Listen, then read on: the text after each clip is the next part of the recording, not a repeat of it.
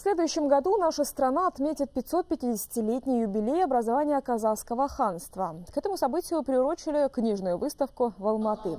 Она состоит из шести разделов, где представлено более трех тысяч книг отечественных и зарубежных авторов.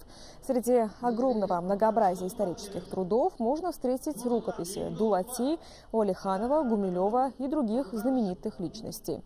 Организаторы постарались собрать все материалы, начиная с сакской цивилизации. Также на выставке выставке был показан документальный фильм «Абулхайр хан», премьера которого состоится 15 декабря в канун Дня независимости. Добавлю, юбилей образования казахского ханства в нашей стране будет отмечаться впервые.